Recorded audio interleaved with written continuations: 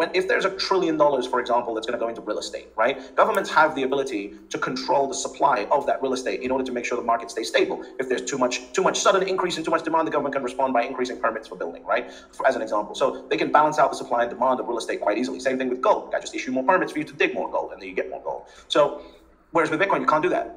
So if the ex-managing director of BlackRock, who was talking uh, at a conference in London, is correct, and there's 200 billion dollars of demand uh, in the first three to five years after a Bitcoin spot ETF, that equates to about 192 million dollars per day of demand if it is equally spread out through the 756 trading days that you have. If that's the case, then you're looking at a day one Bitcoin price of $198,000 a coin. There's going to be something